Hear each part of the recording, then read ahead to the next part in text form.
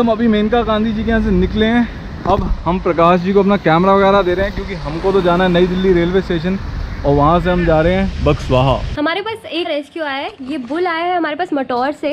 इसको सर पे सींग के चारों तरफ़ बहुत ज़्यादा टाइट से कोई रस्सी बाँध के चला गया था जिसकी वजह से इसको घाव हो गया। वो घाव इतना गहरा ऑलरेडी हो चुका था कि उसमें मैगट्स लग गए थे। हम मॉर्निंग सिक्स ओ क्लॉक गई हमारी टीम और इसको पकड़ने के लिए हमें डार्ट गन का इस्तेमाल करना पड़ा क्योंकि बुल बहुत ज़्यादा अग्रेसिव है। अग्रेसिव तो है ही है साथ ही भारी भरकम विशाल क्षेत्रफल वाला बुल है।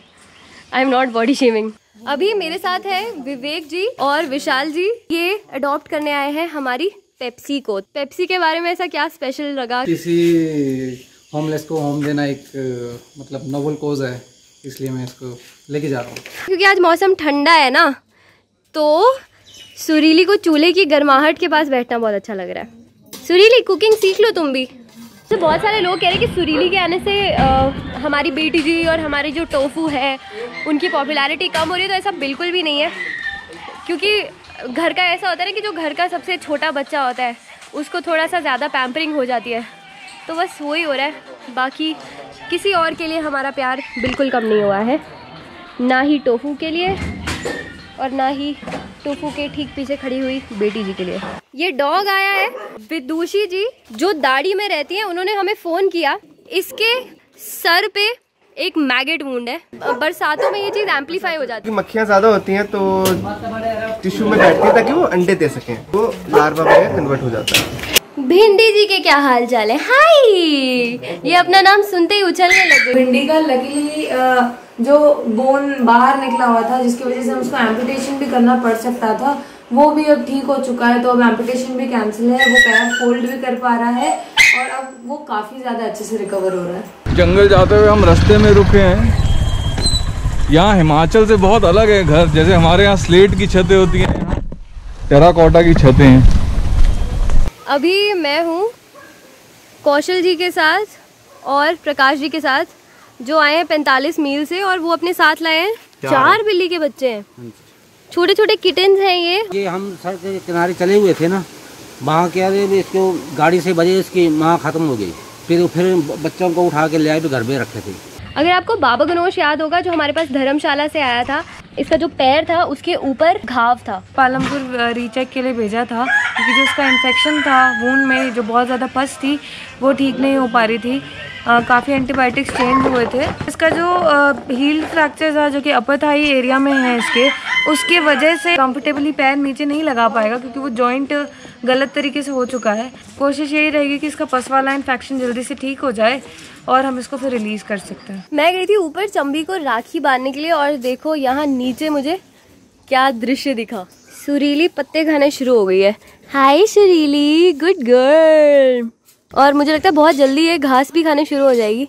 अभी तो ये बस हल्का हल्का निबल कर रही है, इसे खाए नहीं जा रहे हैं पत्ते but he is just trying हमारे पास चार किटन्स आई थी लदवाड़ा से। अनफॉर्चुनेटली जया और सुषमा की डेथ हो गई। वो काफ़ी ज़्यादा छोटे थे बहुत वीक थे इसलिए उनकी डेथ हो गई। अगर आप चाहें तो आप हेमा और रेखा को अडॉप्ट कर सकते हैं और हमारी सजेशन तो यही है कि आप इनको साथ में ही अडॉप्ट करें क्योंकि ये दोनों बहनें हैं और जैसा बादाम के साथ हुआ हम नहीं चाहेंगे कि वैसा हो क्योंकि पिस्ता उसकी जो बहन थी वो अडॉप्ट हो गई थी लेकिन बादाम को अ, कोई लेके नहीं गया था। एंड में बादाम को एंगजाइटी हो रही थी सेपरेशन एंगजाइटी हो रही थी स्ट्रेस हो रहा था।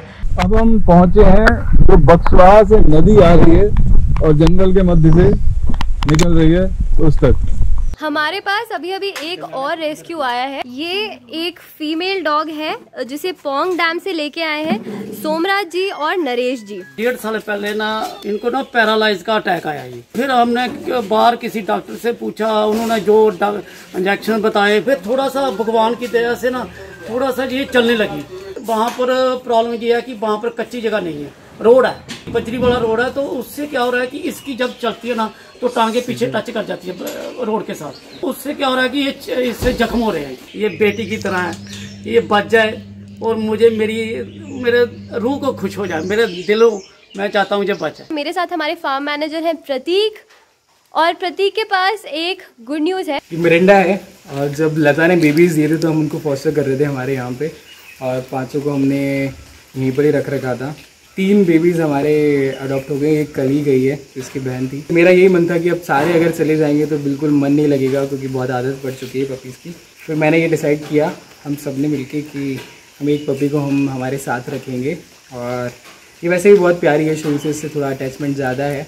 तो अब मिरिंडा फाइनली अडॉप्ट हो गई है, प्रतीक जी द्वारा, और ये प्रतीक के साथ ही रहेगी। हमारे ऑफ़िस में खूब जम के काम हो रहा है। ये है शिवानी, वो है सृष्टि, ये है हमारी इशिता। अब जब भी हमें ईमेल्स करते हैं तो ये खूबसूरत चेहरा छुपा है उन ईमेल्स के पीछे। ये दोनों बहुत देर से एक टक लगा के मुझे देख रही हैं और जज कर रही हैं। हे क्या हुआ? क्या दिक्कत है? मीमी के लिए तो दिन बहुत सुहाना है, क्योंकि बारिश है, मौसम ठंडा है। हमारी जो किचन स्टाफ है उसमें एक और शख्स भी जुड़ गया है या स्लैश जुड़ गई है और वो है सुरीली जी। तो ये हर काम में अपने हाथ आजमा रही हैं। टेस्ट कर रही है कि खाना जो बिना पकाया कैसा होता है और पका हुआ कैसा होता है? तो पहले ये अप्रूव करेगी उसी के बाद हम खाएँगे। ये आपको अपडेट्स देने के चक्कर में ना मेरी आवाज़ बहुत लाउड हो गई है। तो मेरे जो फ्रेंड्स हैं सहकर्मी हैं उनका फीडबैक ये है कि मैं बहुत ज़ोर से बोलने लगी हूँ। तो मुझे अपनी पिच थोड़ी डाउन करनी है। इसलिए मैं काम कर रही हूँ अपनी आवाज़ को धीमी रखने का। सुरीली ना, अब काफ़ी नटगट हो गई है। ये पहली जैसी शरीफ बच्ची तो बिल्कुल, ये देखो। और धीरे धीरे मुझे ऐसा लग रहा है कि ऑल दो ये अभी एनिमल एरिया में नहीं गई है पर इसके अंदर जो आदतें हैं वो धीरे धीरे बेटी जी वाली आ रही हैं। ना सिर्फ़ फार्म पे सबसे छोटा हमारा काफ है बट सबसे शरारती भी यही है। मैं जब भी डॉक्टर गुलशन को देखूँ डॉक्टर गुलशन का फ़ोन बज ही रहा होता है डॉक्टर गुलशन सुझाव ही दे रहे होते हैं कि आप ऐसा कीजिए आप ये मेडिसिन दीजिए। तो अगर आपके पास भी कोई सवाल है आपके डॉग से रिलेटेड या आप जिन एनिमल्स को फ़ीड करते हैं जिनकी केयर करते हैं उनसे रिलेटेड तो ही इज़ द मैन आज मैं एनिमल एरिया आई हूँ कुछ एनिमल्स का अपडेट लेने कि उनकी सेहत में कितना सुधार है। हेलमेट हमारे पास एक बछड़ा है जो द्रमण से हमारे पास आया था। इसको कान के ऊपर मैगेट वूंड था। अभी इसका जख्म काफ़ी ज़्यादा भर गया हुआ है। कोई भी इन्फेक्शन नहीं है इसमें। कुछ टाइम बाद हमने इसमें भी हल्दी लगानी शुरू कर दी थी जिसकी वजह से अभी भी इसमें भी हीलिंग थोड़ी ज़्यादा जल्दी हो गई है मानव वो डॉग है जिसको आँखों में एक रेयर कंडीशन है जिसे स्टैफिलोमा कहते हैं।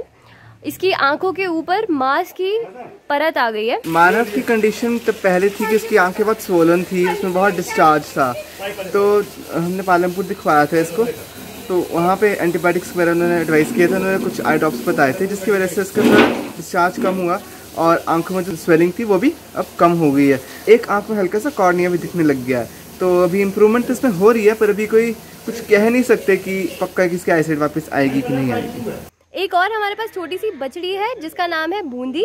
इसकी टांग पे काफ़ी पस पड़ गई थी तो हमने एक दो बार पालनपुर भेजा था डायग्नोसिस के लिए इसको, कि एक्सरे वगैरह कराने के लिए। तो एक्सरे में इन्फेक्शन थोड़ा ज़्यादा आया था बोन में, और पस बहुत ज़्यादा थी इसमें। तो एंटीबायोटिक्स चल रहे हैं इसकी बी तो थोड़ा पस तो कम हुई है, थोड़ा खून की कमी है, इसकी वजह से कि थोड़ी डल होगी, थोड़ा उठ बैठ कम रही है, खड़ी तो नहीं हो पा रही है। बुलडोज़र का काफ़ी सुधार है क्योंकि हमने इसमें हल्दी लगाना शुरू किया था स्टार्टिंग से ही हल्दी का लेप लगा रहे थे जिसकी वजह से इसमें पस भी नहीं पड़ी और इसकी हीलिंग बहुत ही ज़्यादा जल्दी हुई और बहुत अच्छी हुई है। जिस पर थोड़ा सा ही घाव बचा है तो कुछ टाइम में ये रिलीज़ हो जाएगा। मैं हूँ हमारे फार्म मैनेजर प्रतीक शर्मा जी के साथ। प्रतीक ब्रो ये क्या है? नीला नीली डंडी जैसी? प्लास्टिक की डंडी है। स्प्रिंकलर्स है ये। घूमते हैं। ओके और इसमें से पानी निकलता है। वैसे हमने ड्रिप ड्रिप सिस्टम लगाया हुआ है यहाँ पे। तो अगर वो कभी काम नहीं करता है और ज़्यादा पानी हमें ज़रूरत रहती है तो फिर हम ये स्प्रिंकलर्स भी चला देते हैं। और यहाँ पे साइड में हमने हब्स उगा रखी है तो उधर ऑरेगनो लगा हुआ है। साथ में रोज मैरी भी है। जब शिवानी वीगन पिज़्ज़ा बना के हमें खिलाती है टिंटपरी में तो हमारा ऑरिगनो तो यहीं से आता है। ये जो है ये प्लास्टिक की आईवी बॉटल्स हैं जो हमारी क्लिनिक से आती हैं। अब इनको हम क्या करते हैं? खाली करके ऊपर से काट देते हैं। उसके अंदर छेद कर देते हैं होल्स कर देते हैं ताकि पानी उसमें से निकल जाए। ड्रेनेज हो जाए उसका। आप चाहें तो ये एक बहुत बढ़िया आइडिया है प्लांट्स भी लगाने के लिए और अपना प्लास्टिक रीयूज करने के लिए।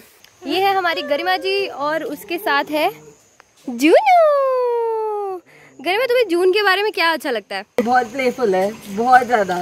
आप बस भागते रहो दिन भर उसके साथ और अगर आप उसके साथ बैठ गए और एक बार पेट करना स्टार्ट करा तो वो कभी नहीं उठने देगा। अगर आप जून को अडॉप्ट करना चाहते हैं तो ये अवेलेबल है हमारे अडॉप्शन पेज पे people farm dot O R G slash adopt boop boop boop boop boop boop boop boop boop. Finally हम बक्सवाहा से वापस पीपल फार्म जा रहे हैं। इस समय हम बस में बैठे हैं, हम जा रहे हैं छतरपुर ट्रेन स्टेशन वहाँ से ट्रेन लेंगे दिल्ली। दिल्ली से हमारी जीप खड़ी है, वहाँ से वापस हिमाचल। देन हम इस वीडियो पे काम करेंगे।